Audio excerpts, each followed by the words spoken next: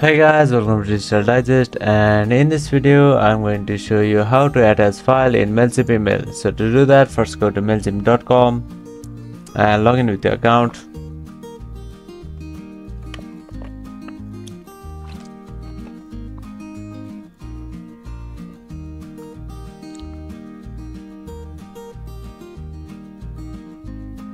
Click on create a campaign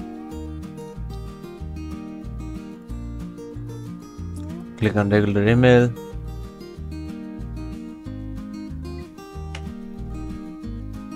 apply any email template.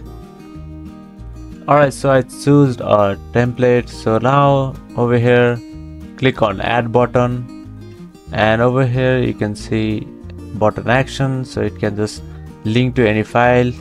So from here you can upload attachment in your MailChimp email so over here yes. So that is how you can attach file in MailChimp email. Thank you for watching this video and I'll see you on the next one